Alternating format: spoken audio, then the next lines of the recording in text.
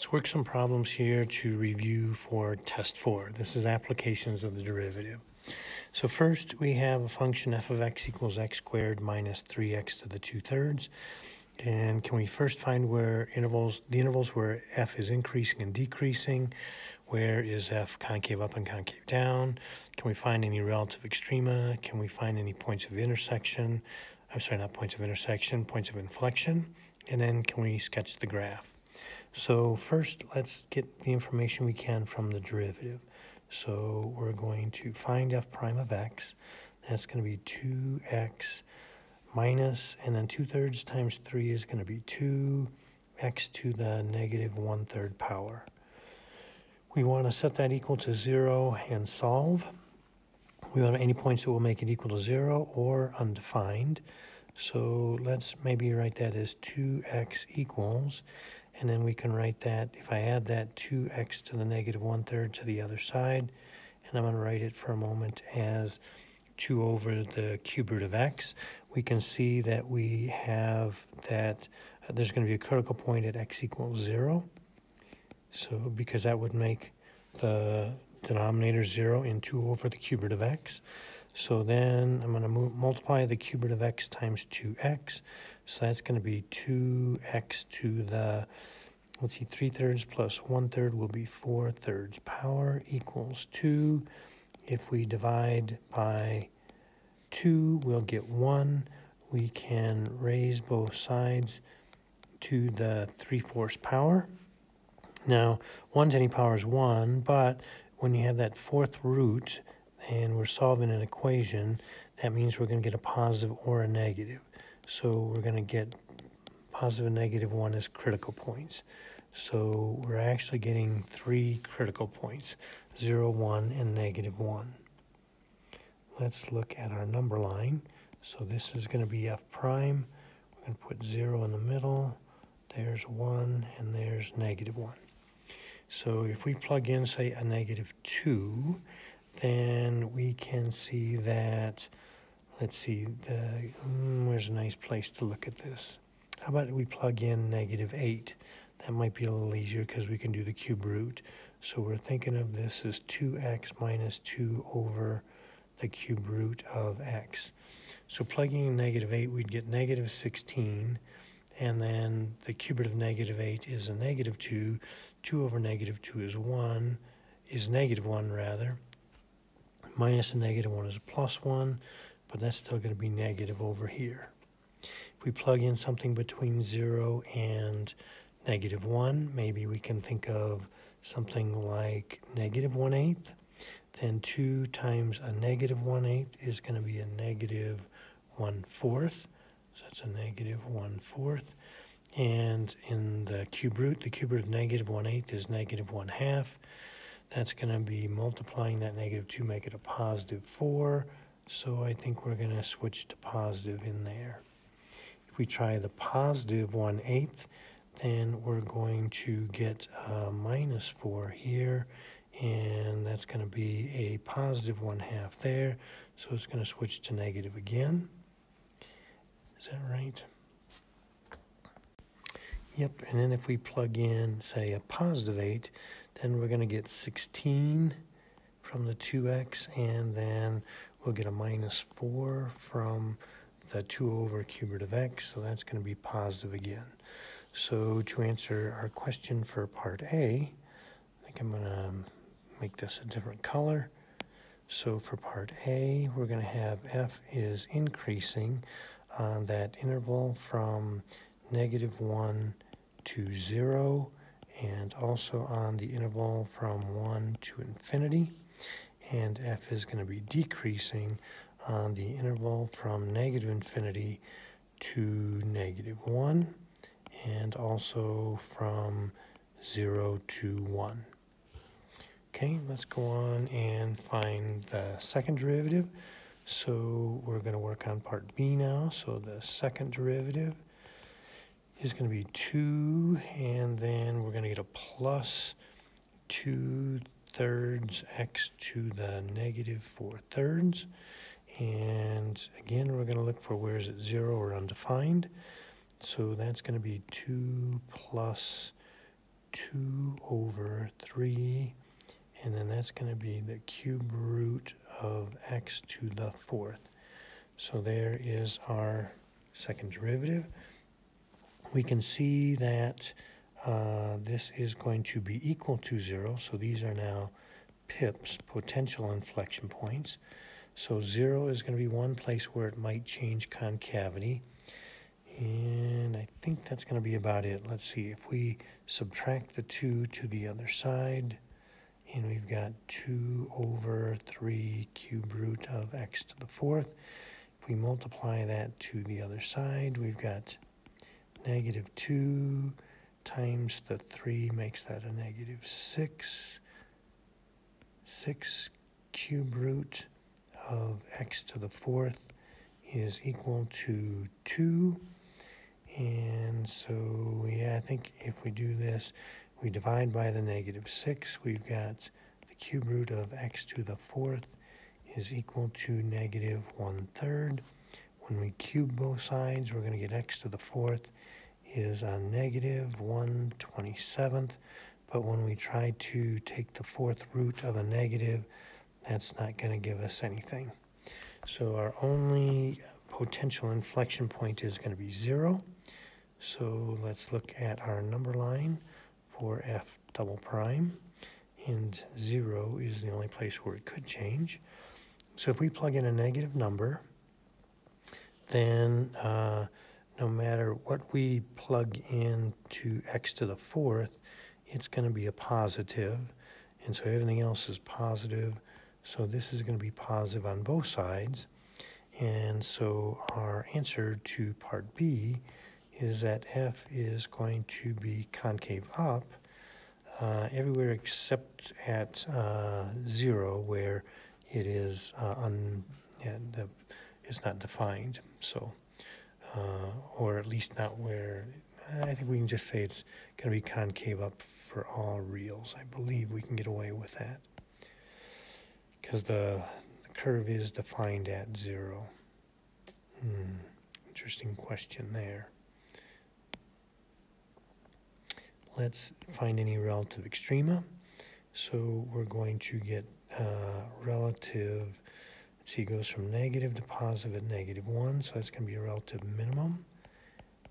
And if we plug in negative 1, we're going to get negative 1 squared is 1, and then minus 3 times the cube root of negative 1 is negative 1 squared is positive 1, so that's going to be a negative 2.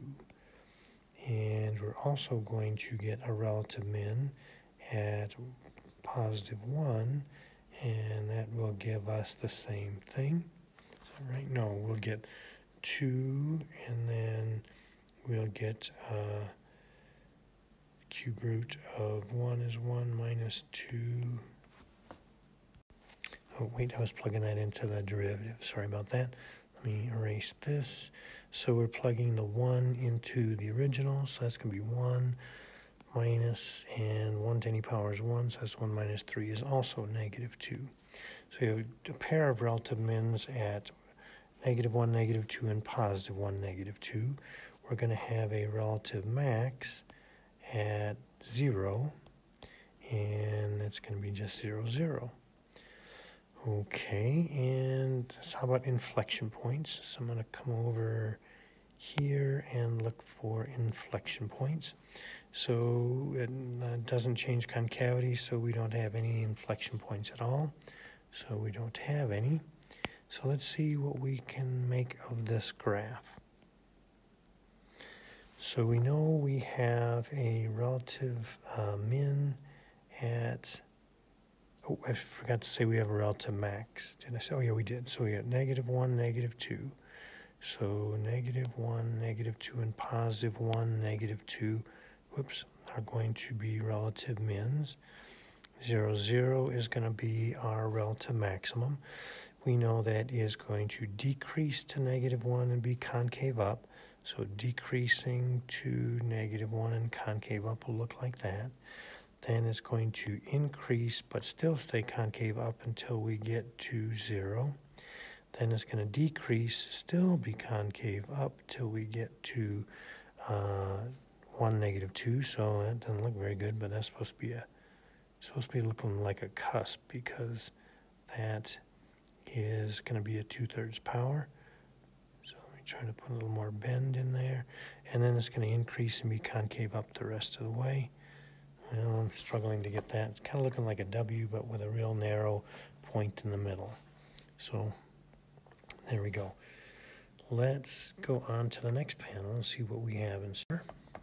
So let's verify the mean value theorem applies to this function on that interval and find any values of c guaranteed by the mean value theorem.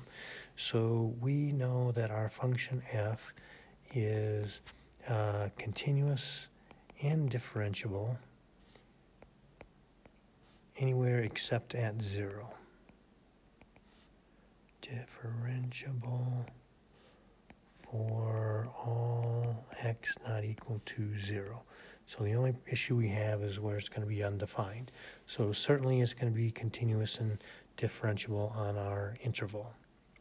So now we need to know what is f of b minus f of a all over b minus a. So for us that means we want f of 8 minus f of 2 all over 8 minus 2. So let's see, f of 8 is going to be 10 minus 16 over 8 is 10 minus 2 is 8. f of 2 is 10 minus 16 over 2, which is 10 minus 8, which is 2. So we're going to get uh, f of 8 is 8 minus 2 all over 6, so that looks like 1 we need f prime of x. So we can set it equal to f of b minus f of a over b minus a. So that's going to be, since this is a negative 16x to the negative 1, its derivative is going to be 16x to the negative 2, which we might want to think about as 16 over x squared. We're going to set that derivative equal to our f of b minus f of a over b minus a. So then multiplying that x squared to the other side and square rooting it looks like we get a positive 4 and a negative 4, but only 4 is on our interval, so 4 is our value of c guaranteed by the mean value theorem. Okay, let's look at another problem. So now we're going to try to find the point on uh, y equals square root of x plus 1 closest to 3, 0. So closest to means what we're talking about here is an optimization problem. We know that square root of x plus 1 looks like our square root function that's been translated to the left one. And we know that 3, 0 is somewhere about here. So we're trying to imagine taking some point here that's on the curve and we want to minimize that distance. So we're going to need our distance formula, which is the square root of x2 minus x1 squared plus y2 minus y1 squared. That's just Pythagorean. So for our point, the, because it's on that curve, that point is x comma square root of x plus 1. So our distance from the point on the curve to the point 30 is going to be x minus 3 squared plus, and then it'll be square root of x plus 1 minus 0 squared. So that's going to be the square root of x squared minus 6x plus 9 plus x plus 1 which is the square root of x squared minus 5x plus 10. Now we can make the argument that the value of x, so the value of x that maximizes our function d also, uh, let me just say, is the same is the same x that maximizes our function without the radical, which I'm going to call d hat, equals x squared minus 5x plus 10. Okay, so then we're going to try to maximize d hat. So d hat prime is going to be 2x minus 5. We'll set that equal to 0 to find our critical points. And so I think we're going to get uh, 5 halves.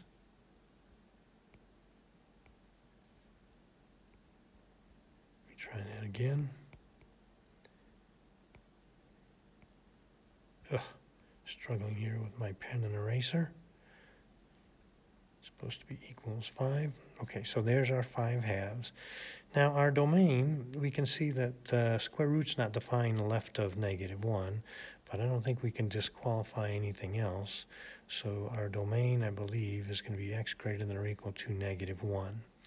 So that's tough because it's an open-ended uh, integral, open-ended domain. So it's open to infinity on the right. So we can do one of two things. We Because we have only one critical point, so there's our 0, there's the 5 halves. We could check the sign of the derivative on either side of 5 halves. And if we plug in something like, say, 1, we can see we're going to get negative on the left. And plugging in something like, say, 10 on the right will make that positive. So we can say, uh, since d hat prime changes from negative to positive at x equals 5 halves, d hat has a relative minimum at x equals 5 halves. Because x equals 5 halves is the only critical point on the domain, d hat has an absolute max or minimum, absolute min at x equals 5 halves. Okay, alternatively, I'm just going to throw this out there. We could do kind of our modified um, candidate test. We could find d hat of 0, and d hat of 0, since where did our d hat go? It's right over here d hat of 0 is going to equal 10. We can find d hat of 5 halves, and that's going to be, let's see, 25 fourths minus 25 halves plus 10. So that's going to be a negative 25 fourths plus 10, which is 40 fourths. So that would be a 15 fourths, I believe and 15 fourths.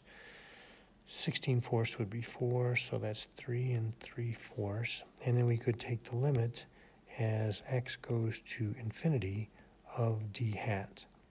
And you can see that in d hat, as x goes to infinity, then the x squared is going to be the dominant um, factor there, and that's going to go to infinity.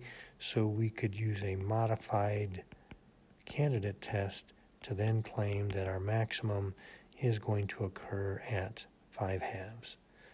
And we're trying to find the point, so we still got to plug that in.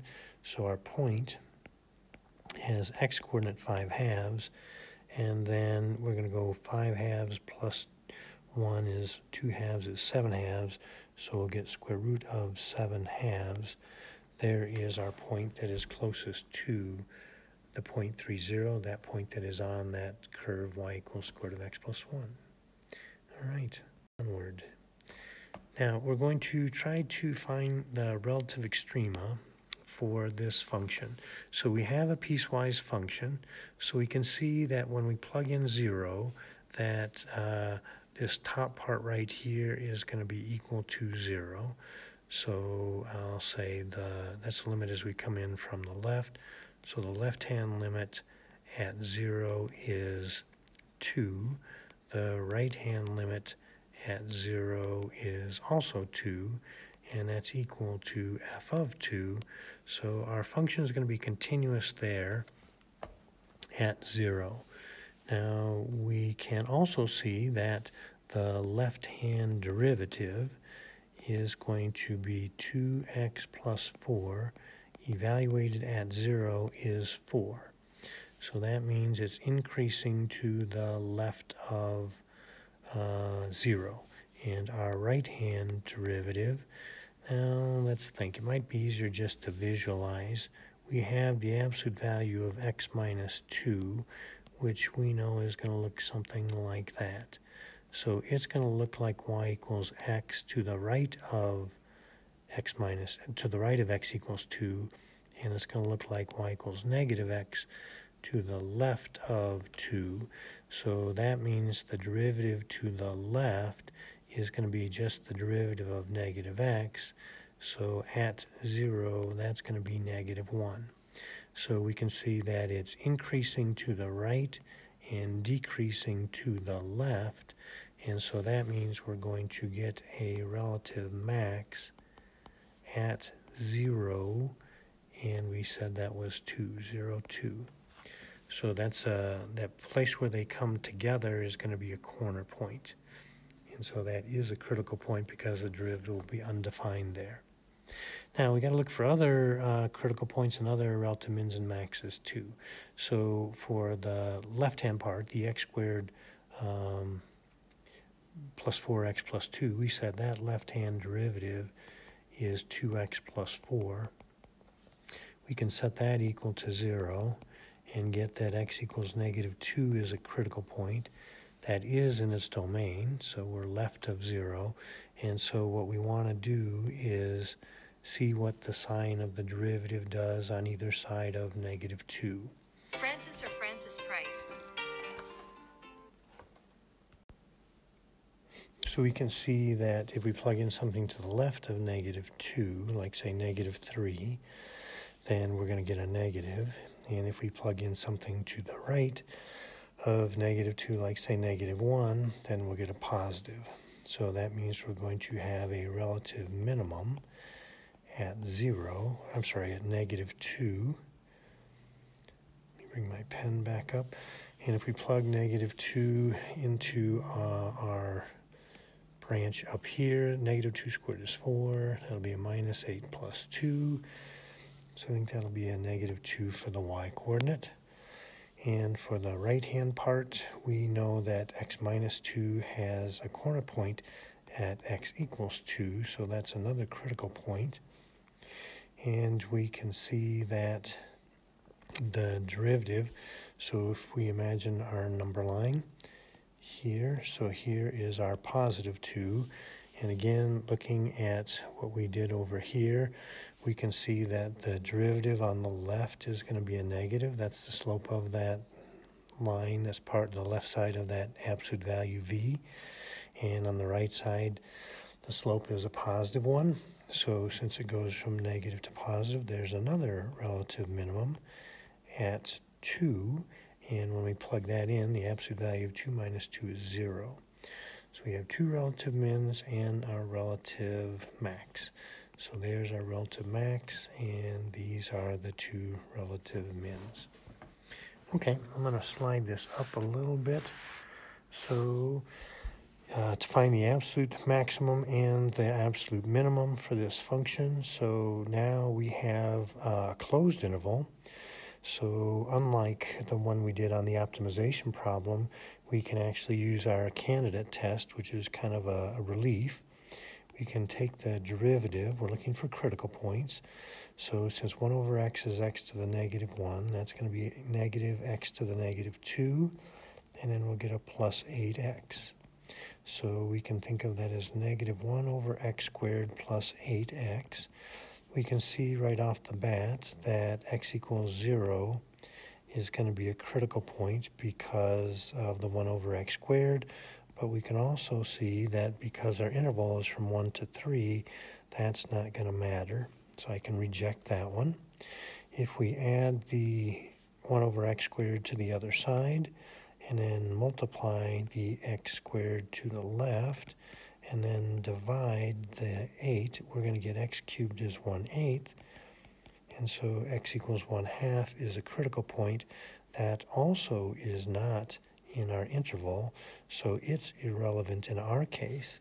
So all we have to do is evaluate the function at 1 and at 3, and the biggest one will be the maximum, and the smallest one will be the minimum. So plugging in 1, we're going to get 1 over 1 plus 4 times 1 squared is 5. Plugging in 3, we'll get 1 third plus 3 squared is 9 times 4 is 36. So that's 36 and 1 third. So this is our absolute minimum, which we're going to call little m, and this is our absolute maximum, which we'll call capital M. Okay, got one more really challenging problem here. Okay, so what this, you're going to have to use your imagination here. This is supposed to be a big water trough. It's got a trapezoid, congruent trapezoids on trapezoids on each end. They're connected to form rectangular faces that um, between the two ends. The bases are trapezoids, so it's uh, the bases of the trapezoids are two feet by four feet. So here's the four foot part, and here's the two foot base of the trapezoid. The height of the prism is uh, this distance right here. So this is what we're calling capital H. This is the height of the trapezoid, which we're going to call little h. So it's a little confusing because um, our formula for the volume of a prism is the area of the base times the height of the prism. The area of the base is the area of that trapezoid, which is one half the sum of the bases times the height of the trapezoid, and then we have another height of the prism. So it's a lot to keep straight there. First, let's find the volume of the trough, volume when the trough is full. So that's going to be, our volume is going to be that area of the base times the height, and that means we're going to take 1 half times the sum of the bases, that's 2 plus 4, times the height of the trapezoid, which is another 2, times the height of the prism, which is the 5. Guess I didn't really need those brackets. So let's see, 4 plus 2 is 6, half of that is 3, 3 times 2 is 6, 6 times 5 is 30. So that's going to be 30 cubic feet is the volume of that trapezoidal trough when it is full. Okay, now we're going to pour water in there at a rate of 4 cubic feet per minute. So that's our dVdt is this 4 and that's positive because we're filling it up. We want the rate at which the water level is rising when the water level is one foot. Now, this takes a little bit of thinking. As the water starts to fill up in here, the water level right here is what we're calling little h. So we're looking for uh, dh when that height of the water level is 1. Notice the height of the prism, that 5, that is not changing with time. That is a constant. It's fixed. It's always 5. Okay. Well, let's see what we know. We've got a volume that is going to be 1 half times the sum of the bases. Well, that small base, that one on the bottom is the 2. That's not changing with time. But as that water level rises, this base right here is going to be changing with time. So I'm going to call that right now just that base for that base, but we'll come back to that in a moment. Now the height h of the of the trapezoid, that little h, is that's our depth of the water there. That's changing also with time as we pour more in there. The capital H is not. That height of the trough, the height of that prism is fixed. That's always 5. So let's look more closely at B and H there. So here is, uh, I'm going to redraw that trapezoid. Now my claim that if we draw in a triangle here, in fact we can draw in two congruent triangles there. Now we know this is 2, and that's going to be 2 up there also. Now as the water level rises, so as this water level, ri uh, I didn't want that to be an eraser. So as that water level rises, then we're going to get in the small triangle. We're going to have, this is our height right in here. And this is going to be, let me call that x for a moment right there. Now in the big triangle that we have up here that is fixed, since this much is 2 right here and the whole base is 4, and by the symmetry of it, this is going to be a 1. And we said this height right here is going to be 2. So we have in the big triangle, 1 is to 2 as that little x is to the height. And so that's going to tell us that 2x, let me try that again. So 2x is equal to h. So that little x is going to be 1 half h. Now that x is what we're saying is this, so I'm running out of colors here.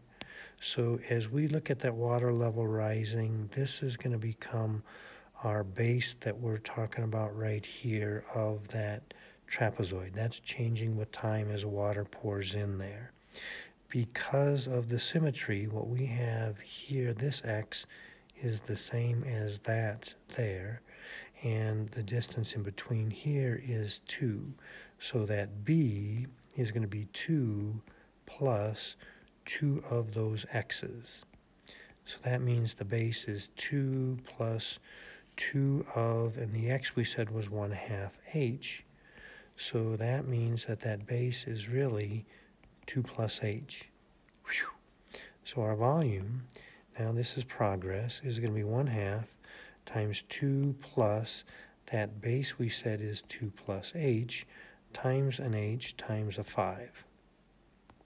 So I'm going to put the 5 together with the 1 half. That's 5 halves. And adding the 2's is going to be 4 plus h times h.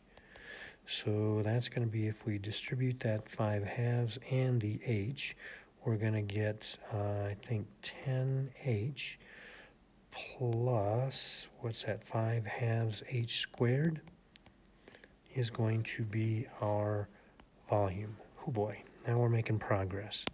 So now differentiating that, we're going to get dv dt is going to be 10 times dh dt plus 5h times dh dt.